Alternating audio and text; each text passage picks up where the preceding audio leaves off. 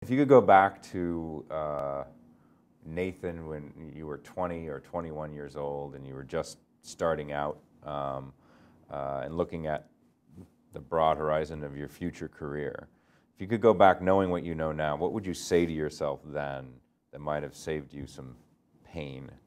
What lessons might you give a younger version of yourself?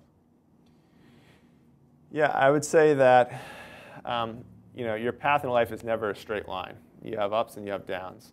Um, but in retrospect, when you look back at all the setbacks um, that um, you know, whether it's me personally or others have experienced, um, at least for myself, I found that those setbacks were always the learning opportunities that eventually helped me uh, later on with Airbnb and making that successful. Mm-hmm. Uh, so, for example, uh, prior to Airbnb, I was uh, a lead engineer at, at, a company that didn't do so well. Mm-hmm. Uh, but I like to say I learned everything not to do at that company, which actually was incredibly valuable. Now, at the time, it was disappointing, but actually, all those learnings got effectively uh, put into Airbnb, and we're stronger for it.